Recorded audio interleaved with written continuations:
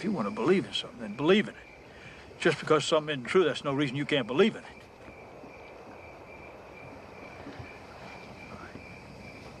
The long speech I give to young men sounds like you need to hear a piece of it. Just a piece. Sometimes the things that may or may not be true are the things that a man needs to believe in the most. That people are basically good. Honor, courage, and virtue mean everything.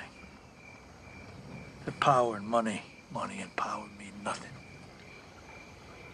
That good always triumphs over evil. And I want you to remember this, that love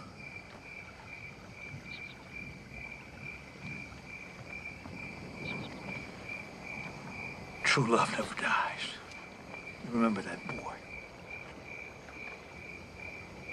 You remember that.